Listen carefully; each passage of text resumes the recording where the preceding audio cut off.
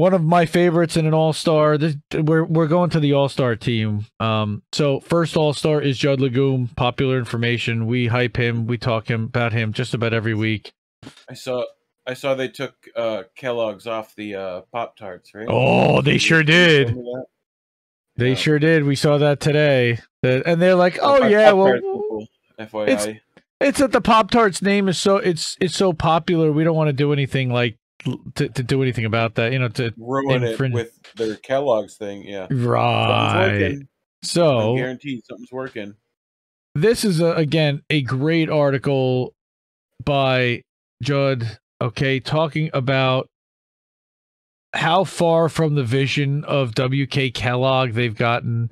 He offered free of charge kindergarten, nursery, daycare center for working mothers. He offered benefits long before a corporation was really required to at all.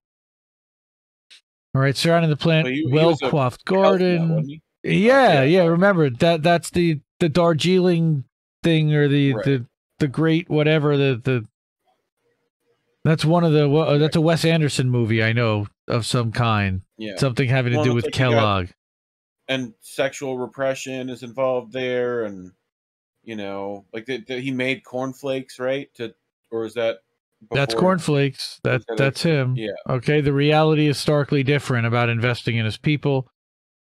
Okay, talking about workers routinely required again to clock 72 to 84 hour work weeks. If you beg off to go watch your son's Little League game, it dings you. Mm. And COVID made the situation worse. I think it was the Darjeeling Limited Transmarches. I, I I'm not sure if that was it or if it was the the Great Something Hotel. Uh, and I, I'm not a Wes Anderson fan, but I know that they are like a cult. Okay, again, this is what's gross right here, and I I actually copy and shared this as its own tweet. Kellogg's has seen demand swell during pandemic as consumers stay home and eat there more more frequently instead of eating out, dining out. 1.4 billion dollars in profits in 9 months of 2021. In, in, profits. That is on top of what they were making. That's right. That like, that that's this year. That's not ever, you know, that's the right. That's a, a, right new workers making third. So first of all, they put in place a two-tiered pay system so that depending on seniority, you're you're having different pay for different people doing the exact same job.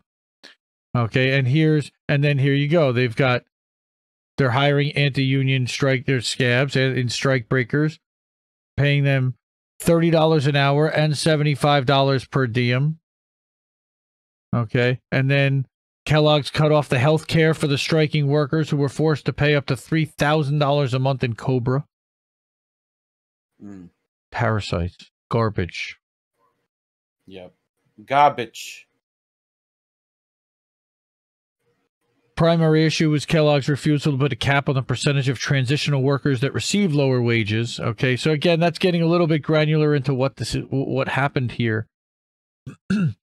Great executive compensation. Exactly. So, what the ratio is right now 279 to 1 is what the CEO to the average worker makes, which was increased from 183 to 1 in 2017. Gross. Legality of union busting. Oh, and of course, we're going to go into like right to work and all that stuff in here, right? Right. But of course, decision to try to bust the union. Yeah. Not all heroes wear capes. Yeah, Reddit users. R slash anti work is going yep. to be the subreddit doing that. They've been correct. Fucking, it's one of it's blown up that subreddit. So, you know, people are fucking trying to do something. So. Okay, Democrats have uh, sought to make the practice of permanently replacing economic strikers illegal through the PRO yeah, Act. Because that's going to go well for you, Democrats. Right. What putting hiring making it illegal to hire scabs? That's what Wait, they're talking oh, about. No, sorry, I was I was thinking the exact. I thought they were like. No, no, they they would. To, the like, Pro Act actually yeah. tries to make it illegal to hire scabs. Scabs. Yeah, yeah, yeah, yeah, yeah, yeah. Okay, that that that's all right. It's an existential attack on the union and its members' jobs and livelihoods, Biden said. And I saw something also about Kroger and Fred Meyer was offering $17 an hour, and one of the requirements is must be willing to cross a, a, a picket line. Oh, yeah. yeah. I don't I don't think so, guys. All right. Uh, again, there were there are ten comments. I always like reading the comments on popular information. He actually has a pretty smart audience. Haven't eaten breakfast cereal in many years. Thank you, thank you, well done. Not that Nick, he's pretty funny, but I knew there was a reason I preferred post cereals, although they have their own labor issues.